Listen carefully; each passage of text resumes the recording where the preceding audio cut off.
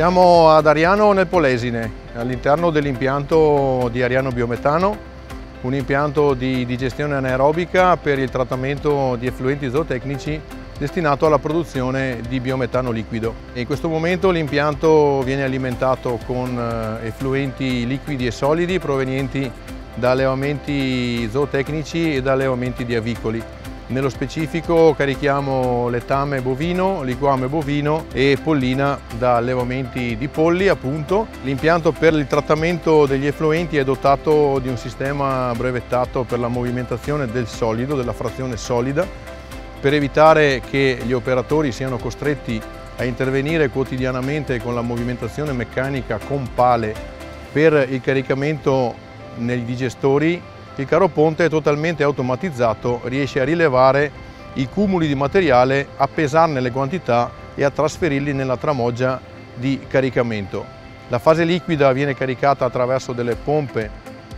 che alimentano la prevasca e, e il, tutto l'impianto è composto di sette digestori che implementano la digestione anaerobica. La produzione finisce in un impianto di trattamento che garantisce l'abbattimento dell'acido solfidrico, della parte di umidità grazie a un impianto di strippaggio e a un chiller per la riduzione appunto della componente di umidità. A quel punto il biogas grezzo finisce all'interno dell'impianto tecnologico per la raffinazione del biogas in biometano grazie a un compressore che spinge il gas attraverso delle membrane, l'impianto è appunto a membrane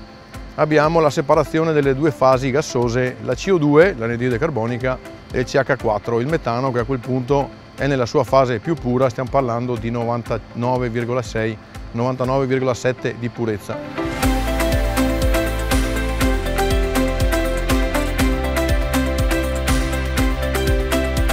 Un ulteriore trattamento che noi abbiamo deciso di implementare per favorire la logistica di distribuzione e la densità energetica del materiale è la liquefazione. Grazie a un impianto di refrigerazione specifico portiamo il prodotto a meno 147 gradi,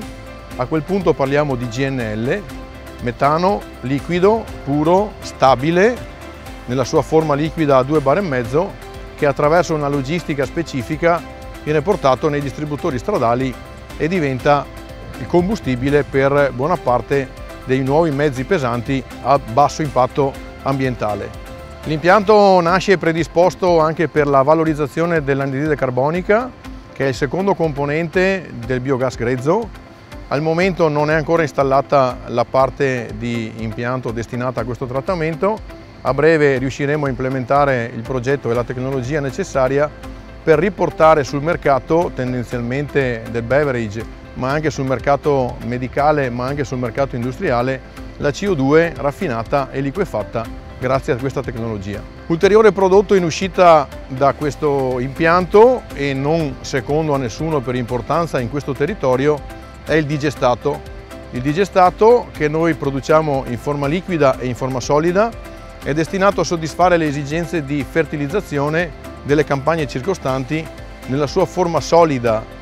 principalmente per orticoltura, eh, vivaistica e eh, floricoltura, nella sua forma liquida per ritornare materiale organico per fertilizzare le campagne destinate alle culture intensive.